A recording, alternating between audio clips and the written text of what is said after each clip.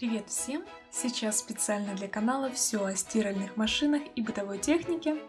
Мы поговорим с вами о том, как вывести глицерин с одежды.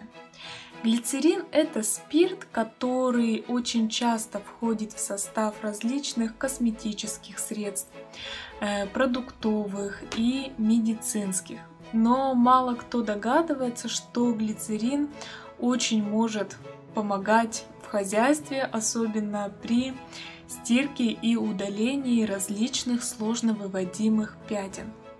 Очищать э, одежду с помощью глицерина очень-очень просто, причем он борется э, просто с огромным количеством различных э, пятен. Например, это ягодные пятна, пятна от фломастеров, от карандашей, от гуаши, от краски кофе, чай, какао и многое-многое другое. И делать это очень просто. Можно просто нанести глицерин на ватный диск и нанести непосредственно на одежду. Можно также и разводить глицерин, причем можно его смешивать. Чаще всего смешивают его с нашатырным спиртом, и это такая очень-очень сильная вещь. Также можно разводить его и солью. Но, как вы поняли, глицерин в доме нужно обязательно держать, причем э, купить его можно в любой аптеке и стоит он не так уж и дорого.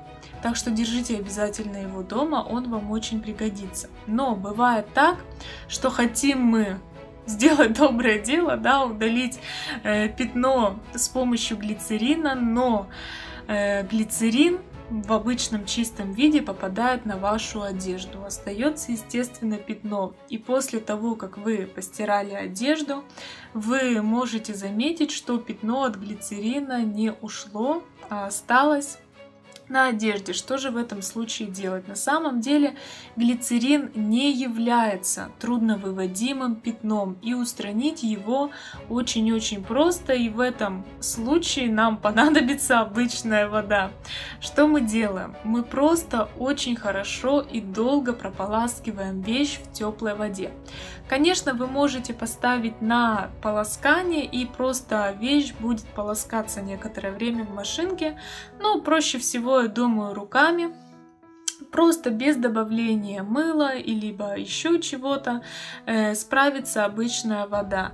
Но если вы хотите, чтобы процесс, скажем так, ускорился, то можете добавить совсем небольшое количество доместоса, но с ним нужно быть предельно аккуратным и сначала нужно его нанести на какой-нибудь участок ткани незаметный, чтобы удостовериться, что с вашей тканью ничего не сделается.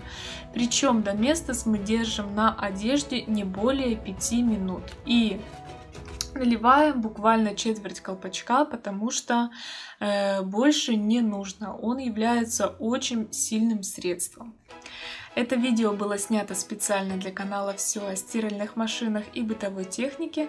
Если оно вам оказалось полезным, ставьте лайки и подписывайтесь на канал. Всем пока!